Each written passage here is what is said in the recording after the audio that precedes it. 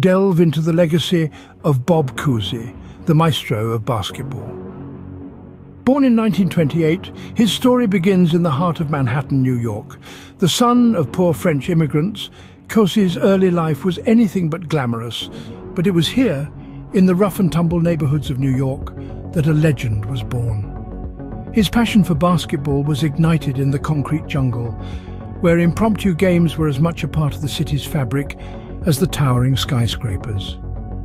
His natural talent, developed amidst the cacophony of car horns and city noise, honing his skills on makeshift basketball courts with a ragged ball and resilient spirit. His parents, though initially skeptical of their son's unusual interest, soon recognized his exceptional talent him wholeheartedly. His father, a taxi driver, would often drop him off at local games, while his mother would cheer from the sidelines. His high school years saw him budding into a phenomenon.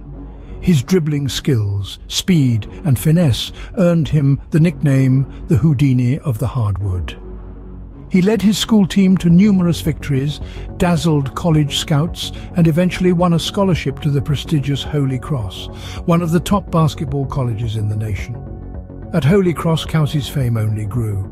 He led Crusaders to a phenomenal NCAA championship victory his sophomore year. The whirlwind college years were not just about victories and accolades. It was during this time that Cousy developed his inimitable playing style that would later make him an NBA legend. After graduating, he was picked up by the Boston Celtics, the team he would call home for the most part of his career. The Celtics were then a budding team, but with Cousy on board, they soon started charting their course to greatness. His fast break play style, coupled with his exceptional court vision, changed the dynamics of the game. Throughout his 13 seasons with the Celtics, Cousy won six NBA championships, earning him a spot among the, his tireless dedication, unmatched skills and humility off the court touched the hearts of millions, making him a role model for future generations.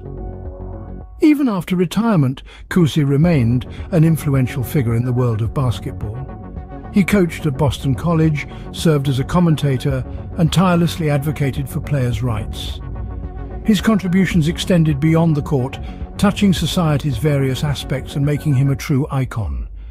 His life encapsulates the American dream, a tale of grit, determination and exceptional talent. His journey from the concrete courts of New York to the hallowed halls of basketball's greatest is a testament to his indomitable spirit and love for the game he adored.